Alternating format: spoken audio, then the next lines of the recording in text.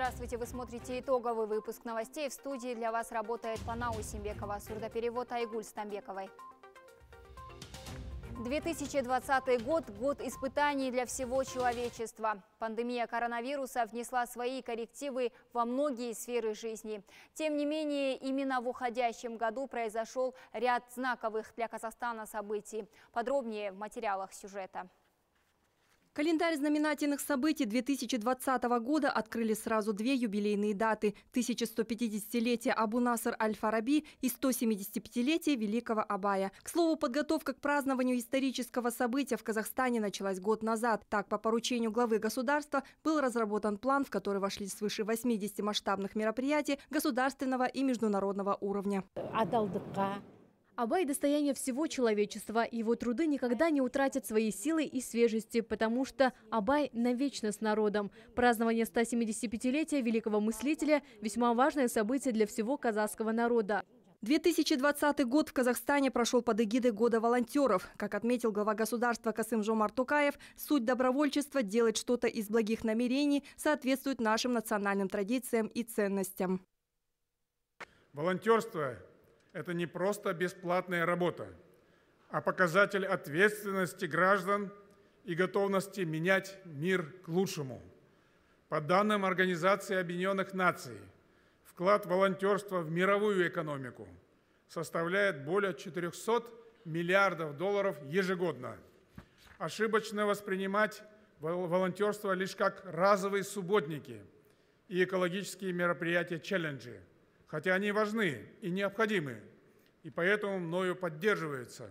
Четверть века назад был создан уникальный общественный институт – Ассамблея народа Казахстана. Сегодня Ассамблея – это не только масштабные народные праздники, но и реализация социальных проектов, урегулирование межнациональных конфликтов и, конечно же, благотворительность. Ассамблея для меня – это очень важное в моей жизни. И я я так горжусь тем, что я отношусь вот той группе энтузиастов, патриотов, которые стояли у истоков, у самого, то есть мы делали предысторию ассамблеи. Я очень горжусь, что я от звонка до звонка ни одного дня не пропустила, чтобы не э, работать над тем, чтобы был мир и согласие. В этом году исполнилось 75 лет Великой Победы. На сегодняшний день в Алматинской области из 60 тысяч ветеранов живых осталось всего 49. Из ЖТСУ на Великую битву ушло 120 тысяч человек. Около половины из них погибли на полях сражений. 52 воинам за проявленное мужество было присвоено звание Героя Советского Союза. 11 из них – бойцы легендарной 28-й Панфиловской дивизии. День Победы! День Победы! День Победы!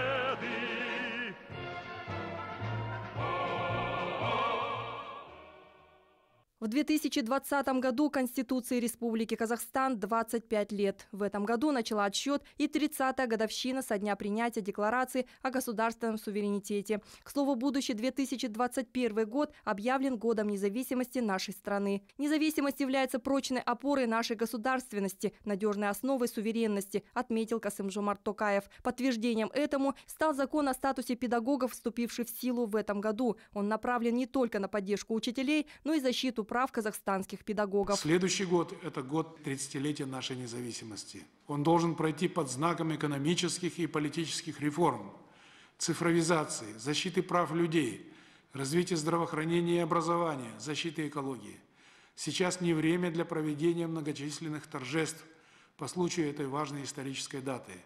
Не откладывая дела в долгий ящик, мы обязаны в самые кратчайшие сроки – добиться конкретных результатов. Всемирная пандемия коронавирусной инфекции в этом году стала настоящим испытанием и для нашей страны. Именно в этот период она показала профессионализм и самоотверженность казахстанских врачей, а также единство нашего народа, сплотившегося против опасного вируса. Гульмира Тимиргалиева, телеканал ЖТСУ. Значительный урон мировой экономике и стране нанесла коронавирусная инфекция в год крысы. Несмотря на это, Алматинской области удалось удержать высокие позиции в развитии всех отраслей – промышленности, строительства, сельского хозяйства и ряда других. Сама за себя говорит статистика. Объем производства в промышленности превысил 1 триллион. В сельском хозяйстве произведено продукции на 900 миллиардов тенге, привлечено инвестиций на 711 миллиардов тенге. Эти показатели ничуть не хуже прошлогодних, а местами и значительно лучше. Хороший урожай мы получили, свыше 60 тысяч рабочих мест. Из них более 33 тысяч – это постоянные рабочие места. Не просто это только временные рабочие места. Это очень-очень большой показатель. Это все результат вот такой совместной работы. Динамика роста ощущается и в аграрном секторе. Пять лет назад посевы сахарной свеклы составляли лишь 1200 гектаров. Сегодня он увеличился в 14 раз. Таким образом, жетысусцы – бесспорные лидеры по производству белого сахара в стране. Только в этом году собрано более 500 тысяч тонн свеклы.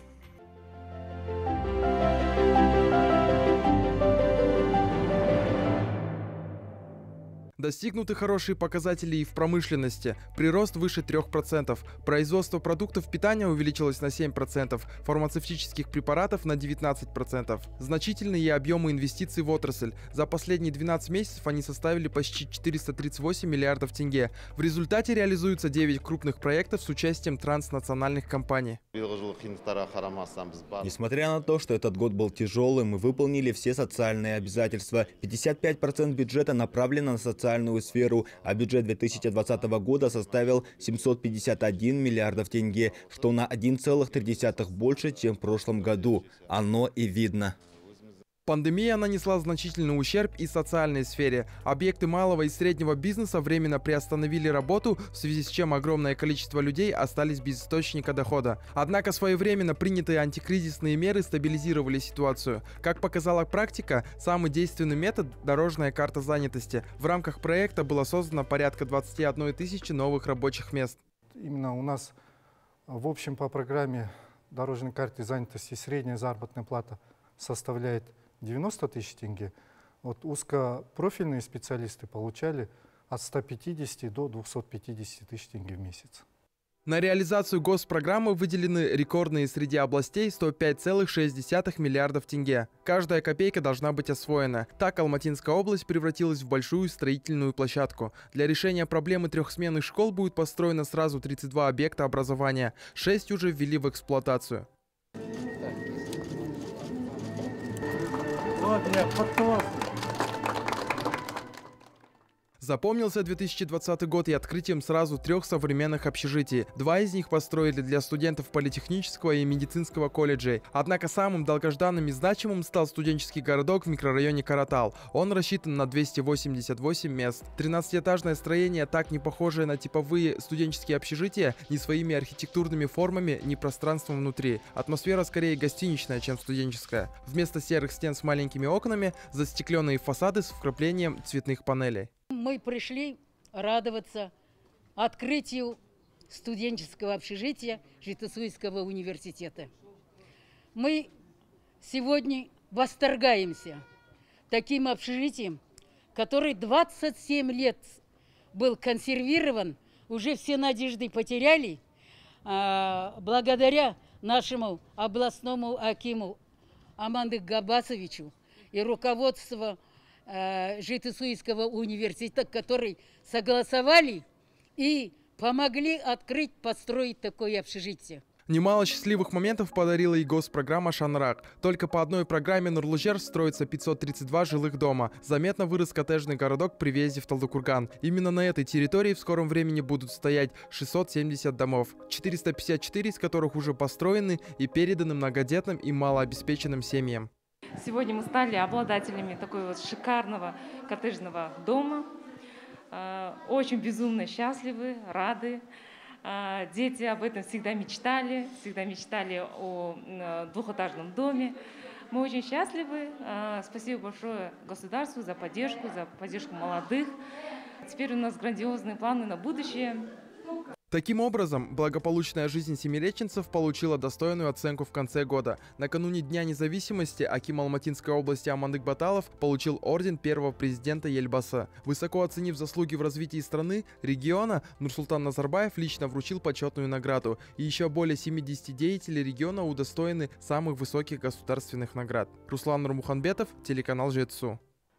Аким города Талдыкурган поздравил ветеранов Великой Отечественной войны с Новым годом. Чтобы не подвергать риску здоровья пожилых героев, вместо торжественного собрания Калымжан Абдраимов вместе с председателем городского совета ветеранов навестил ветеранов в их домах.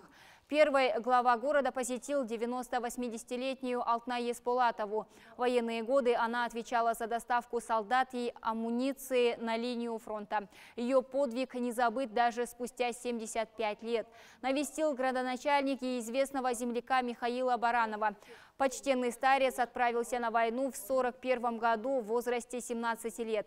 Домой он смог вернуться только спустя 6 лет, в 47 году. Доблестно трудился и внес большой вклад в освоение целины, целины и развитие водного хозяйства. За заслуги военные и послевоенные годы награжден различными орденами и медалями.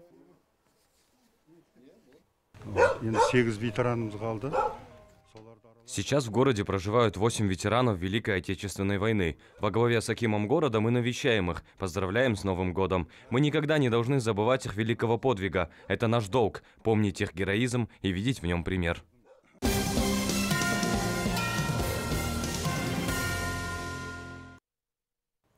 Для кого праздник, а для кого работа? Сотрудники спасательных служб к Новому году готовы, правда, по-своему. Вместо приготовления ужина и создания праздничной атмосферы они проверяют готовность техники.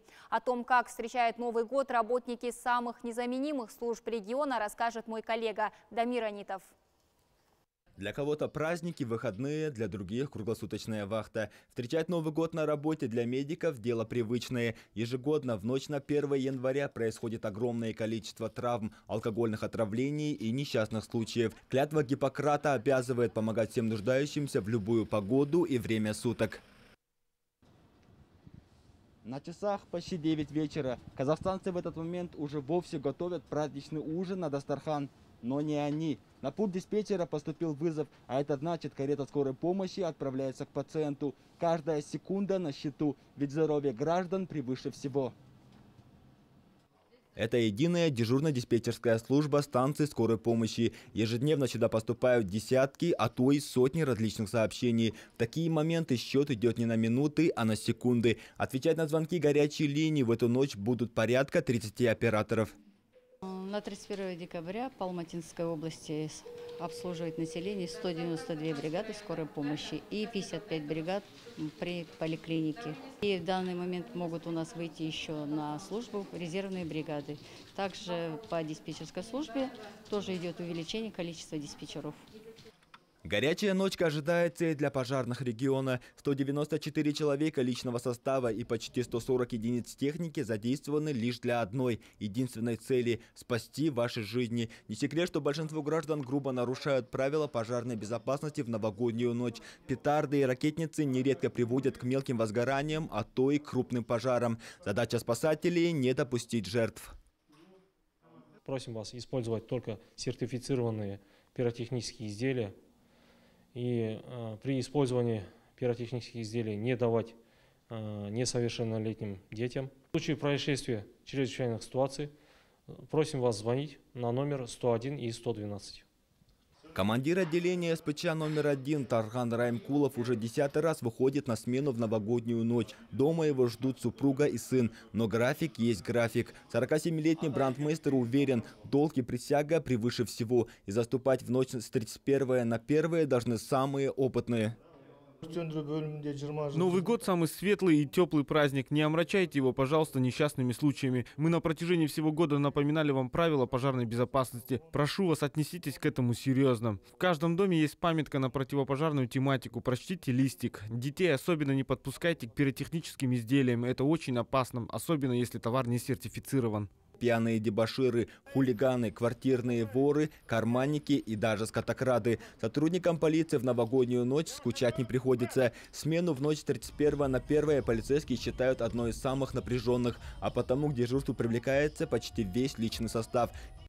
Будут пресекаться все нарушения, совершенные в общественных местах и на улицах. Э, все кафе, бары, рестораны должны работать завтра до 24.00 часов. После 24.00 часов по всем кафе, барам, ресторанам будут работать мониторованные группы, которые будут выявлять нарушения э, карантинного режима.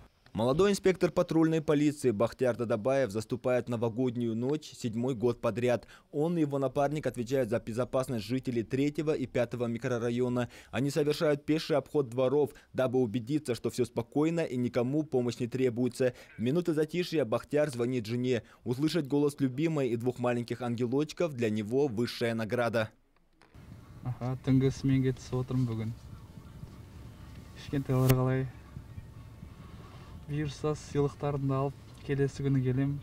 Также дежурят в эту ночь охранники, работники аварийных служб, котельных и некоторых других предприятий. И все они обеспечивают безопасность и спокойствие мирных граждан в новогоднюю ночь. Дамир Анитов, Ерлан Азамбай, Надир Хамзин, телеканал ЖЭЦУ.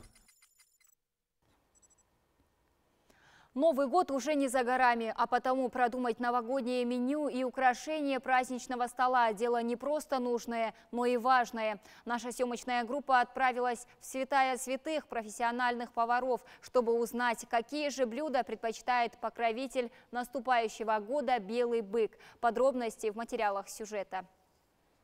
В преддверии наступающего Нового года каждая хозяйка задается главным вопросом – какие блюда приготовить для праздничного стола, чтобы угодить и семье, и будущему тотему. Страницы интернет-сайтов могут предоставить быстрый ответ, однако тонкости приготовления того или иного блюда можно узнать лишь у профессионалов. Манты – одно из популярных блюд, которые каждая хозяйка старается приготовить для новогоднего стола. Секретом своего приготовления сегодня поделится с нами шеф-повар сети ресторанов Ланчжоу Фарида Жалпибаева. Секрет нашего приготовления вкусных манты – это нарезка мяса. Самый эффективный, самый хороший, э, вкусный на Новый год манты – это манты с тыквой. Добавляется мясо, э, тыква и обязательно жир и лук репчатый, и специи, соль, соль кристаллики, чуть-чуть сахар, черный перец и масло подсолнечное. В Казахстане манты, пожалуй, второе по популярности блюдо после бешбармака. Видов этого блюда существует десятки. А все потому, что начинку в тесте можно варьировать на усмотрение хозяйки. К примеру, бывают диетические овощные, наполовину с мясом, жирные, постные, с мясом птицы, баранины, говядины, конины. Словом, на любой вкус. Пока наша манта приготовится, мы быстро сделаем салат из овощей. Э, здесь фунчоза, перец полугорький, огурцы, морковь, конечно, кинза и чеснок, и специи вот наши. Бык – консервативное в гастрономических предпочтениях животное. Ему понравится обилие зелени, грибов, овощей, фруктов. Поэтому новогоднее меню невозможно представить без салатов. Будет ли это классический оливье или любой другой рецепт, не имеет особого значения. Важно, чтобы было много зелени и овощей. Не меньше внимания уделите и оформлению блюд. Вот такой вот салат получился. Очень вкусно и быстро. Каким будет новогоднее меню, решать, конечно же, хозяйкам. Повара лишь советуют, чтобы каждое блюдо было приготовлено с любовью и в хорошем настроении. Это и станет залогом успешного рецепта.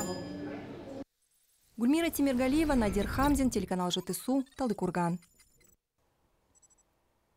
Время чудес. Выступить в роли Дедов Морозов выпала возможность государственным служащим и просто неравнодушным гражданам. Принявшие участие в традиционной ежегодной акции «Елка желаний», они подарили детям из многодетных и малообеспеченных семей радость исполнения их заветных желаний. Подробности из материалов сюжета. Адресовать письмо Деду Морозу через елку желаний стало доброй традицией в семье многодетной матери Акжаркын Шаймурат. Поэтому ее дети с нетерпением ждут приближения новогоднего праздника, загодя приготовив заветные конверты. В этом году о своей мечте написал и десятилетний Ахмат Султангазы. К радости мальчишки его желание исполнилось, и подросток получил долгожданный подарок – велосипед. А в роли Деда Мороза выступил начальник областного департамента полиции Серик Кудибаев. К слову, он также подарил детям теплую одежду и новогодние сладости радости. елімізге халқымызға елеулі қалаулы азаматы бол үлкен жігіт бол рахмет полиция қызметкерлеріне міне бізді Спасибо сотрудникам полиции за помощь нашей семье, за подарки, за теплые вещи. Особенно мои дети рады велосипеду. Большое спасибо. В канун Нового года материальную помощь получили еще две многодетные семьи. Оказать им поддержку вызвалась предпринимательница Гаухар Идрисова, которая доставила семьям продукты питания, а также подарки малышам. ойға түстім толғандым өз мінезімді қолға алдым мінезіме көз салып тексеруге ойландым өзіме өзім жақпадым енді қайда сия алдым қалап қалған көп мінез қалайша қылып тия алдым міне мынау саған осуществили желание детей. Думаю, если э, все э, люди соберутся вот так вот понемногу, понемногу, и наши дети будут счастливы и их мечты будут сбываться. Акция «Елка желаний» стартовала 17 декабря, а ее инициаторами стали добровольцы волонтерского движения «Мейром Тамшиса» при ЖТСУ «Медиа». Собранные ими детские послания были развешаны на еле, украсившей один из торговых центров города. А меценаты, изъявившие желание порадовать ребятню, помогли осуществить мечты почти 50 мальчишек и девчонок областного центра. А, нам помогали а, неравнодушные люди – мы ставили в Магнуме елку, люди ходили, читали письма и исполняли желания. А, также не остались в стороне и управление города, а, управление области, также департамент полиции. Стоит отметить, после Нового года в рамках благотворительной акции волонтеры планируют оказать помощь и ветеранам. Гульмира Тимиргалиева, Кайрат Кастурганов, телеканал ЖТСУ, Талдыкурган.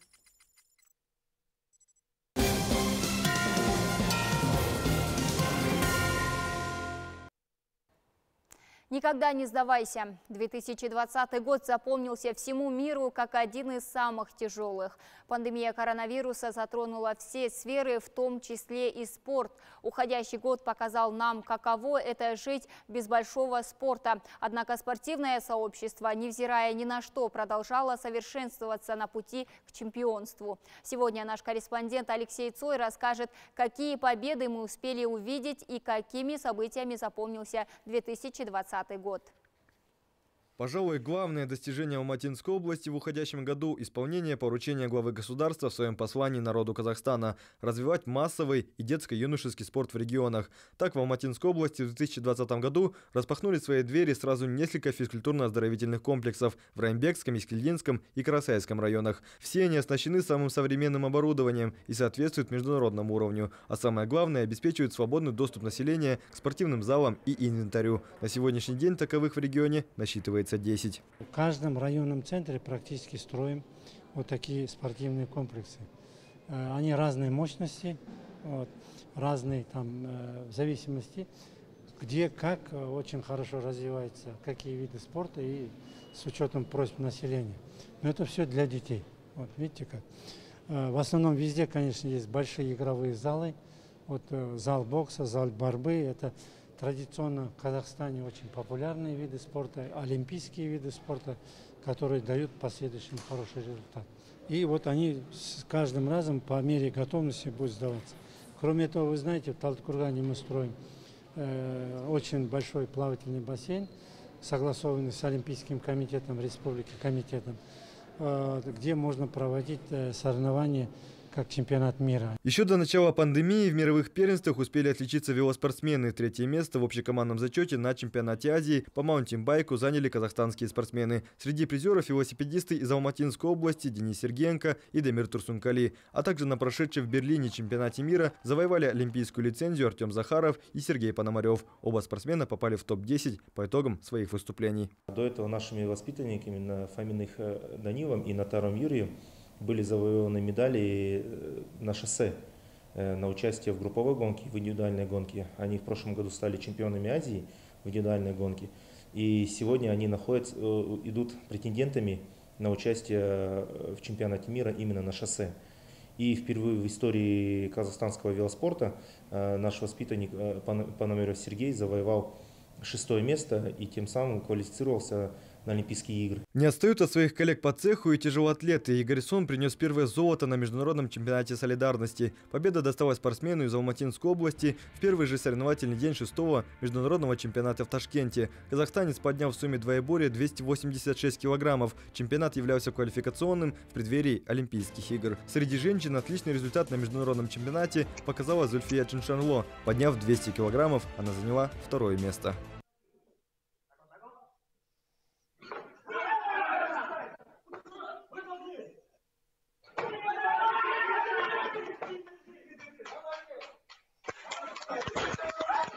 Неплохие результаты и во всех видах единоборств, однако, пожалуй, самая запоминающаяся победа – победа чемпиона мира по карате Шинкио Кушинкай Мирея Суюнова. Впервые спортсмен из Алматинской области дебютировал в организации Сенши, крупнейшей сети голобоев. В поединке семиреченский боец сошелся с французским мастером карате Жаном Полем Жако, весовой категории до 90 килограммов. Три раунда прошли под полным контролем и доминированием Мирея Суюнова, в результате чего наш боец завоевал чемпионский титул организации. Жан-Поль Жако я с ним уже встречался по правилам Кюкушин во Франции и тогда выиграл. И в этот раз после боя он мне подходит, говорит, Мирей, мы с тобой два раза встречались, ты меня, говорит, два раза выиграл. Но в следующий раз, говорит, я постараюсь тебя выиграть. Я тоже пожелал ему удачи и сказал также усердно тренироваться, чтобы он развивал свое карате, улучшал себя. Выиграл я, думаю, скорее всего, за счет тактики перед боем. Успешно закончили год и лучники Алматинской области. В этом году они показали внушительный результат. 14 золотых, 8 серебряных и 8 бронзовых медалей на чемпионате Казахстана. А это первое место в общекомандном зачете. В основном приоритет ставим на Олимпийские игры в командном виде, потому что у нас одна из сильнейших команд в Казахстане по стрельбе из лука. Приоритеты ставим команды. Ну, готовим сейчас данное время, зимнее время, это в физическом плане, психологическом плане. В основном цель ставим к феврале будет чемпионат Казахстана. Там мы должны показать свою идеальную форму, хорошие результаты. Сразу три золота завоевала сборная Алматинской области по баскетболу. Первое место в молодежной лиге, Кубок Национальной Федерации баскетбола и чемпионство в баскетболе 3 на 3. И все это одна команда. На каждом соревновании спортсменки проявили настоящий характер, силу духа и, самое главное, сплоченность перед любыми трудностями. Мы сегодня э, стали чемпионами э, молодежных сборных городов. Проходили игры очень напряженно, так как соперники очень хорошо подготовились. Но, несмотря на что, несмотря на э, любые препятствия, мы заняли свое первое место стали двукратными чемпионами Казахстана. На будущее есть планы. Мы сейчас играем в Национальной лиге э, среди женщин Республики Казахстан. На данный момент мы очень упорно тренируемся и также хотим стать чемпионами. И это не все достижения Алматинской области, которых удалось добиться за год, но одни из самых ярких и престижных. На перечисление всех наград нам не хватит эфирного времени, но все они бесспорно важны в карьере каждого спортсмена. Всего семиреченцы за 2020 год завоевали 853 медали и около 300 из них золотого достоинства. Этот показатель является лучшим в стране. Алексей Цой, Серик Базалхан, телеканал ЖТЦУ. Достижений по итогам года у региона очень много. Наши корреспонденты вкратце рассказали о некоторых из них. А подробную развернутую информацию записали в интервью Акима Алматинской области Аманды Кабаталова. Полную версию смотрите далее после выпуска новостей.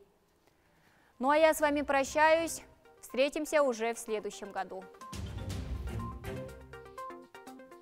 Thank you.